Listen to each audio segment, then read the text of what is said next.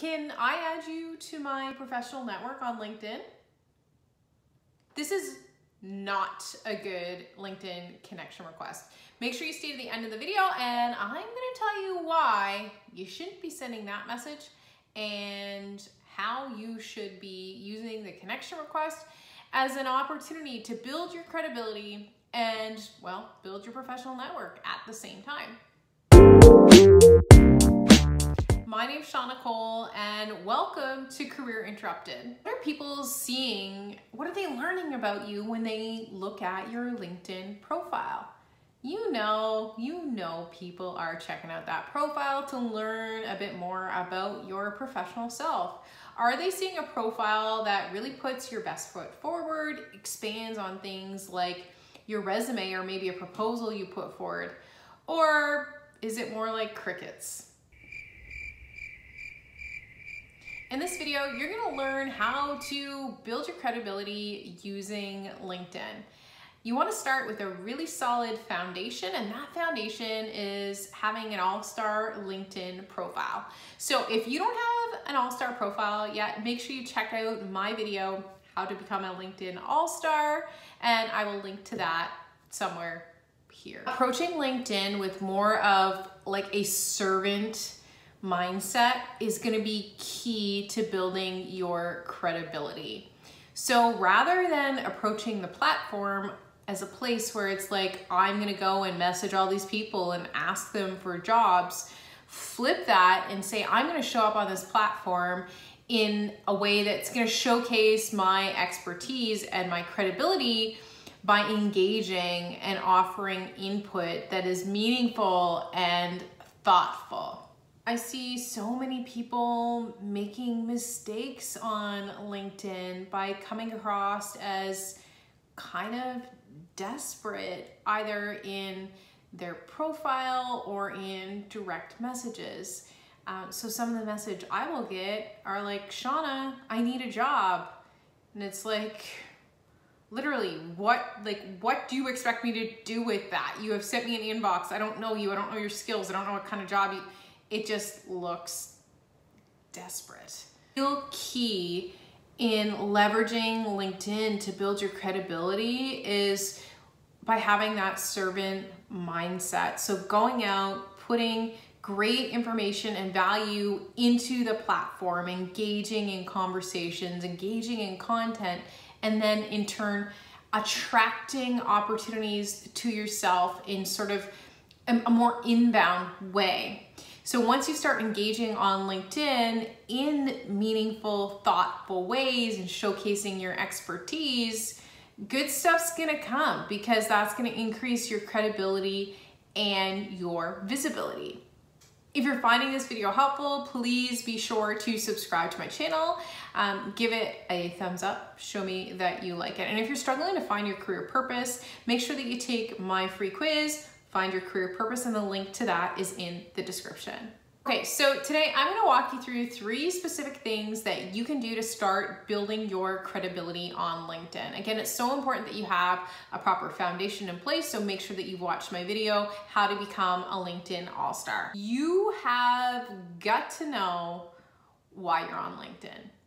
Why are you on LinkedIn? Why do you think you need or should be on the platform? And this is the important question to ask yourself of any social platform for that matter. But for some reason, we often like discount that with LinkedIn. But back to basics, why are you here? Are you on LinkedIn because you want to become a thought leader in a particular space?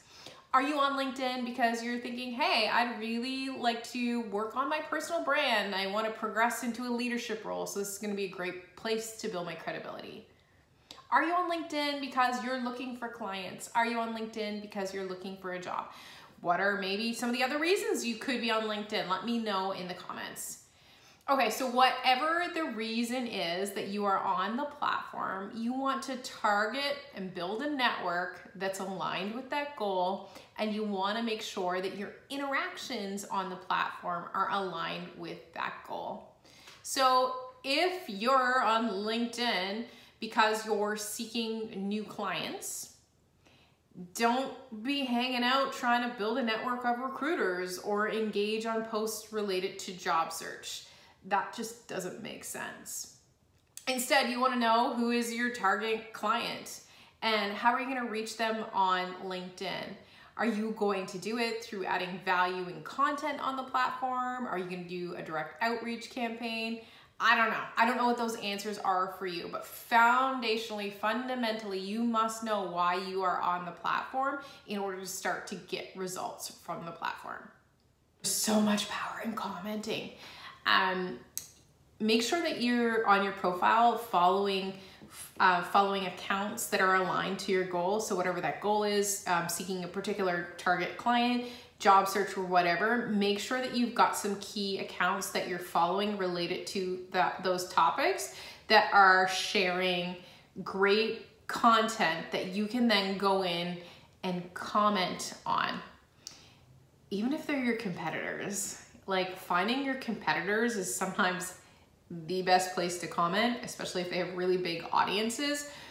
Those are your target people, right? So you can comment on one of their posts and you boom have now been exposed to um, to their audience. So you're getting your name out to a whole um, a whole new group of people. Now, and you're going like, oh, but isn't that going to annoy my competitors? So usually no, usually no. What's so cool about the platform is in my world, in particular in career coaching, there are there are like key influencers that I follow. I engage on those accounts regularly and I see kind of this genuine appreciation and engagement and discussion on the post and nothing really sort of negative about it. I, I mean, I, I, what I've observed in terms of my own interactions is most people are coming from a place of abundance and not like we must compete. No, it's typically more about community. So, so who are the key influencers in the space that you're um, that you're looking to play in? If you're a job seeker, maybe it's a matter of hooking up with a couple of key accounts from recruiters. It's finding the companies that you're targeting for your job search and engaging on those accounts and adding a comment. Okay, the key to commenting on LinkedIn is to not leave a like nice post. That is not a good comment on LinkedIn. You want to leave a comment that's going to actually um, contribute to building your credibility, contribute to building your likability and your and your visibility as well. So your comment could be, you know, someone says, here are three ways to gauge your ideal career. And then I'm going to come in and I'm going to say, have you considered these other two things? Right? I might say great post and here I'm going to add a couple of additional extra points. But but whatever the case is, like great post or thumb who cares? No, it needs to be more than that. Say something that's going to demonstrate your credibility and your knowledge and expertise um, in the post. Liking is useless. Liking is really kind of useless because you just end up in like a pool of likes and nobody ever really sees your name. If you comment, if you comment, everyone else who's reading that post is going to see your name along with your um, along with your headline. Um, so you have the opportunity there. You've been exposed to a new audience you have an opportunity there for strangers to click and now come and visit your profile. All, you don't even have to create original content. All you had to do was comment. Here's an example of a comment that I left on um, another career coach's um, LinkedIn post. I, as you can see, it's a little bit more lengthy. I'm adding to their point. I'm hopefully demonstrating my own value. And then in turn, I'm building a relationship um, with this person in, in a professional context as well. So who knows, like maybe this ends up being a valued relationship over the long term. Um, who knows? Who knows what can come from that? But it's all about coming from a place of, of wanting to be to serve the platform and add more value in order to attract people to come to you instead of you going out and like begging them for a job. Connection requests should be customized like every single time, like every single time. So if you don't customize your LinkedIn connection requests, you basically get that like, hello, I'd like to add you to my professional network on LinkedIn. Um, so that feels really, really kind of inauthentic and like spammy to um, to the person receiving your connection request. Um, and it really sets a tone for, for the relationship. You've got a huge opportunity in that connection request to stand out from the crowd. If you're connecting with a recruiter, for example, I'm gonna bet, I'm gonna bet like 98% of people do not customize their connection request.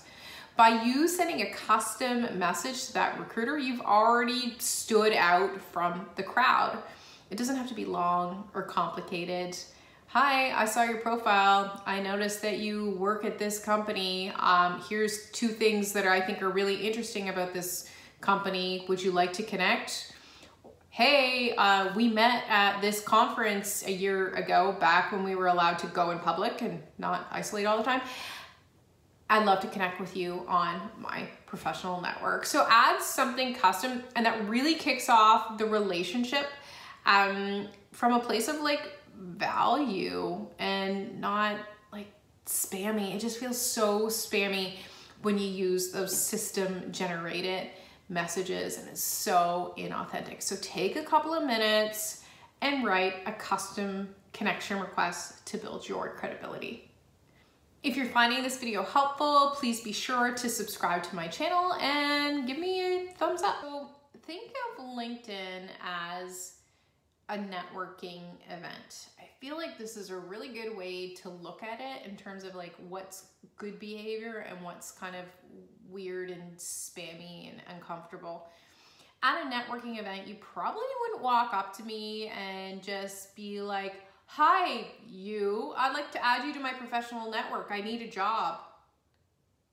No, you wouldn't do that because that would be weird and uncomfortable and it just doesn't feel like socially accepted, right? Like it just feels wrong. So start thinking of LinkedIn as literally like your online networking event. You'd like to go to this networking event, LinkedIn, and meet some people, maybe hand out some business cards, introduce yourself, start off with some friendly chat to build the relationship you maybe want to engage with these people um, on the basis of things that you have in common. Maybe you went to the same school as a recruiter. I don't know. Whatever it is, whatever it is, find find something in common. Find something to talk about other than what it is you need to get from the relationship. Because I think in all aspects of life, just not like networking on LinkedIn, it feels super weird and yucky and uncomfortable for the person when it's like, you're just here because you want something from me. Try to build a relationship from a place of value and purpose. And yes, sure, at the end of the day, you hope to get something from it. And I think that's perfectly okay. But don't expect day one for someone to be like doing you favors on LinkedIn. Instead, take the step back build the relationship, build your credibility, build your visibility with the key folks that are going to help you advance your goals over time. I hope this was helpful. My name is Shauna Cole, and I want you to build your credibility on LinkedIn. Don't forget to start with a solid foundation that is an all-star profile. Check out my video on that as well. Thank you so much for watching.